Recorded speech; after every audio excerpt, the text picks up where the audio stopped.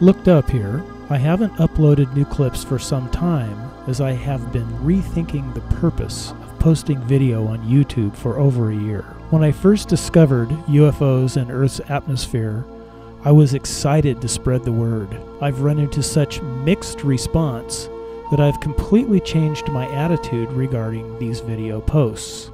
At this point, I really don't care what anyone else believes because I know all I have done is point my camera toward the sky and press the record button.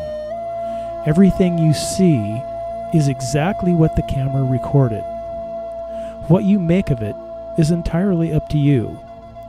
However, for those who indict me for shooting into pools of water or videotaping insects and calling them UFOs, I'd like to hear their explanation for how I got the airliners and helicopter in the pool of water, and then name the insect, because I want to see pictures of an insect that looks like the objects in my videos. For those who say it's just dust in the wind, I think this post puts that to rest.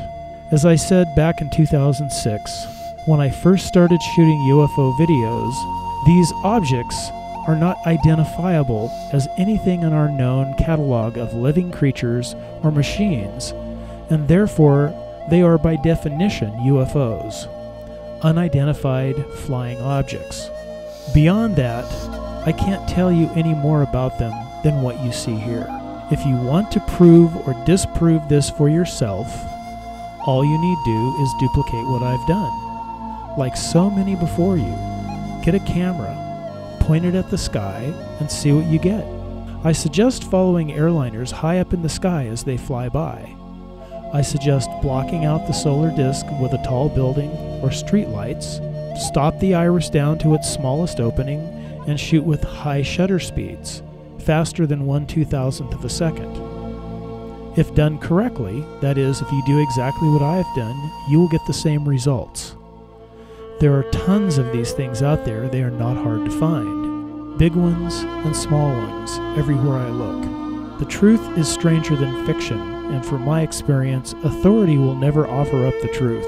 Keeping secrets is one of the ways authority maintains its power. I'm simply giving everyone with an open mind a window into something authority refuses to address.